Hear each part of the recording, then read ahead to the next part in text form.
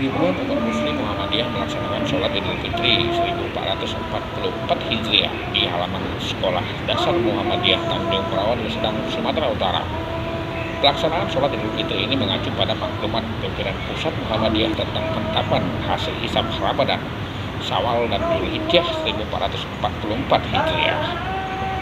Berbeda dengan pemerintah, penetapan satu sawal versi Muhammadiyah berdasarkan perhitungan metode hisab wujudul hilal warga Muhammadiyah di Deli Serdang antusias merayakan Hari Raya Idul Fitri tahun ini sebab tak ada lagi pembatasan akibat pandemi COVID-19 seperti dua tahun terakhir yang melanda negeri ini. Dari pantauan, jemaah tampak khusyuk mendengarkan khutbah yang dibacakan Khotib Haji Ibnu Hajar selaku Ketua Pimpinan Daerah Muhammadiyah Deli Serdang sekaligus Camat Pagar Merbau. Dalam khutbahnya, Haji Ibnu Hajar menyampaikan makna perjalanan dari Ramadan hingga Hari Raya Idul Fitri. Muhammadiyah dalam menentukan uh, Ramadan, Syawal, Hijjah yang di dalamnya ada ibadah-ibadah yang dilakukan oleh umat. Itu berdasarkan hisab, hitungan hisab itu beda dengan uh, ru'yah yang melihat bulan. Dengan hisab menggunakan metodologi sain yang sain dan teknologi itu sudah sudah sudah modern. Kalau hari ini terjadi perbedaan dengan pemerintah dalam persoalan penetapan satu Syawal, itu karena itu tadi cara pandang menentukan itu satu menggunakan metode hisap, satu menggunakan ru'yah.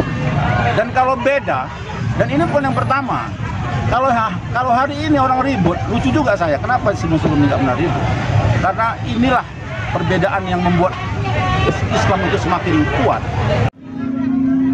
Baik hari ini hari Jumat tanggal 21 April 2023 sebagaimana maklumat pimpinan pusat Muhammadiyah bahwa seluruh warga Muhammadiyah yang ada di Republik Indonesia nih maupun di luar negeri akan melaksanakan sholat Idul Fitri.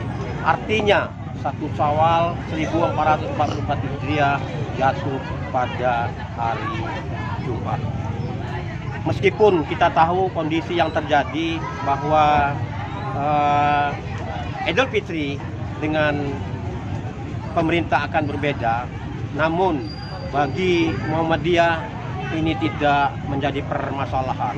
Walaupun penetapan Hari Raya Idul Fitri berbeda antara Muhammadiyah dengan keputusan pemerintah, hal ini tidak menjadi permasalahan dan perdebatan yang penting bisa saling menghargai dari Tanjung Brawa di Sedang Sumatera Utara, Edi Putra Medan TV mengabarkan.